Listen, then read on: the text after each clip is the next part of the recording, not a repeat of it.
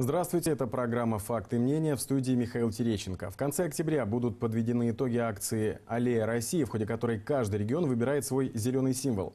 Сегодня у нас в гостях замминистра природных ресурсов Краснодарского края Святослав Удинцев. Святослав Игоревич, здравствуйте. Добрый день, Михаил. Добрый день, уважаемые телезрители. Итак, «Аллея России» – это патриотическая акция, в ходе которой каждый регион выбирает свой символ. Это может быть любое растение. Это кустарники, деревья, травы, цветы. Но причем они должны быть связаны с краем краем, историей, культурой, природой. Зачем это вообще нужно? А, ну, «Аллея России», наверное, э, патриотическая акция, которую вы правильно абсолютно сказали, э, способствующая объединению отдельных субъектов Российской Федерации, вернее, всех субъектов Российской Федерации, которые бы могли в едином месте посадить все свои символы, все свои э, лучшие зеленые насаждения, которые могли бы характеризовать каждый субъект Российской Федерации. Одна из самых известных аллей такого плана, это аллея дружбы, существует в Сочи. Этот проект где будет размещен? А, этот проект будет размещаться в городе Севастополь.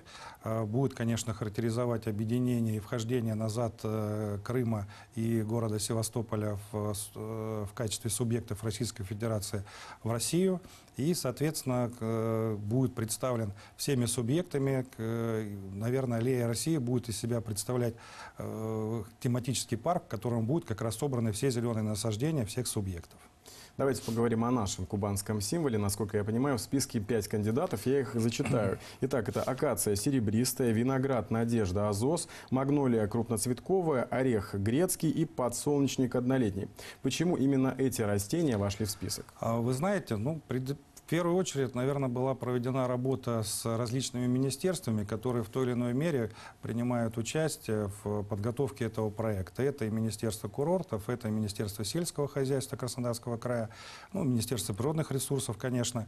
И э, были подготовлены предложения, которые бы позволили характеризовать непосредственно всю территорию Краснодарского края и степную часть, которая могла бы представлять развитие, наверное, сельского хозяйства, и горную часть, которая могла бы показывать Э, что непосредственно в гористой местности есть в Краснодарском крае. Это и Черноморское побережье, которое бы можно было характеризовать отдельными растениями, как магнолии крупноцветковые. Если мы говорим про степную часть, это, конечно, ну, злаковые э, насаждения. Поэтому спектр был абсолютно различен, и предложения как раз э, были э, непосредственно направлены э, для того, чтобы можно было выбрать именно из этих э, растений тот вид, то насаждение, которое можно было бы представить э, в аллее России как раз к Краснодарскому краю. Ну и как же выбрать, как же проголосовать, расскажите. А, вы знаете, ну, есть сайт, который э, непосредственно характеризует различные зеленые насаждения не только Краснодарского края, но и всех субъектов. А, конечно, мы хотели бы, чтобы в первую очередь жители края проголосовали за Краснодарский край, Э, сайт называется alliarossiya.rf, и на ней вы можете отдать свой голос, непосредственно проголосовав за одно из, э, или, может быть, за два э, зеленых насаждения, которые непосредственно есть и предложены в качестве наших символов. А сколько уже проголосовало? А, вы знаете, в настоящий момент проголосовало около 76 тысяч человек. Конечно, нам хотелось бы, чтобы территория края была все-таки представлена более количеством людей, каждый мог высказать свою позицию по этому поводу.